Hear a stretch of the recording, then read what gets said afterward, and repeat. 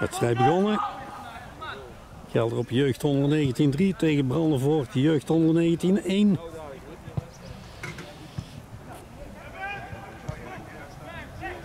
Lekker voetbalweertje.